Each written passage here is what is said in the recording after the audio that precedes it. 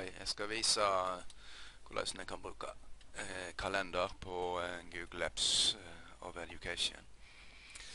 Nå er jeg inne på Google-side, og jeg er pålogga med apps-kontoen min.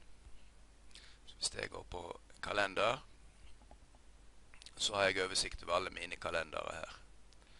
Nå er det en, den prøvekalenderen jeg vil, vil vise. Hvis jeg går bort i eh, heisen her, så kan jeg eh, opprette en aktivitet i den kalenderen. Og eh, den aktiviteten skal være på en dato. Skal vi se. Det er mandag 27. Og det er klasse 1 TPA.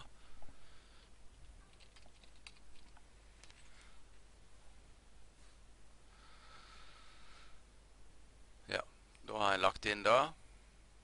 Og det er ikke det tidspunktet. Det er 40.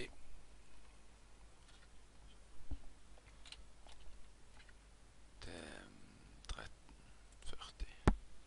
14.40 skal det være. Sånn. Det er det tidspunktet som skal være. Og så lagrer vi den. Da må jeg inn og se at den sto der. Eh, Det var der. Her kan altså slå av eh, på kalenderfunksjonen. Så går jeg inn og ser på eh, hjemmesida. Går jeg på kalenderen der. Og der har du en for fredagsundervisning, men nå vil jeg eh, på prøvekalender. prøvekalender. Og da går vi på eh, Da ser jeg at jeg har lagt inn eh, eh, den som jeg la inn nå, en til par. Så hvis jeg går inn igjen og eh, sletter den